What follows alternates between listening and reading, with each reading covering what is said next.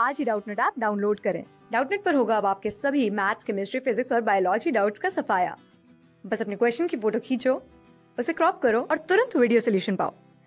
Download now इस question में बोला है columella is a specialise structure found in the sporangium of ये जो कॉल्यूमिला है, ये एक स्पेशलाइज स्ट्रक्चर है।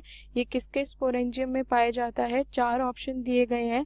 पहला है उलोथ्रिक्स सेकेंड है राइजोपस थर्ड है स्पायरोगायरा और फोर्थ है नन ऑफ़ दीज तो ये जो कॉल्यूमिला है, ये क्या होता है? हमारा जो राइजोपस है,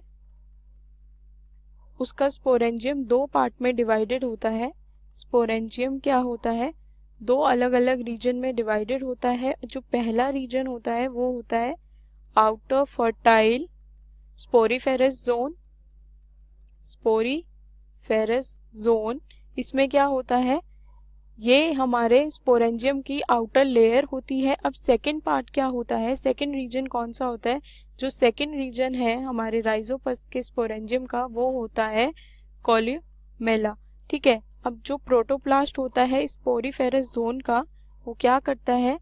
प्रोटोप्लास्ट और स्पोरीफेरस जोन ये जो हमारी स्पोरीफेरस जोन है, इसके प्रोटोप्लास्ट क्या करता है? ये क्लीव होता है माइटोटिकली क्या करता है ये? क्लीव करता है माइटोटिकली और इससे क्या बनते हैं? जब ये क्लीव होता है तो इससे बनते हैं डार्क कलर्ड के हमारे मल्टी न्यूक्लिएट स्पोर्स ठीक है? Dark coloured multi nucleated spores अब हमसे क्वेश्चन में पूछा था कि ये जो कॉल्यूमिला है ये किसका स्पेशलाइज स्ट्रक्चर है? तो ये किसमें पाया जाता है? ये राइजोपस में पाया जाता है तो जो हमारा करेक्ट आंसर होगा यहाँ पे, वो है ऑप्शन बी राइजोपस ठीक है? क्लास सिक्स से ट्वेल्थ से लेके NEET I I T JEE mains और एडवांस के लेवल तक. दस मिलियन से ज़्यादा स्टूडेंट्स का भरोसा.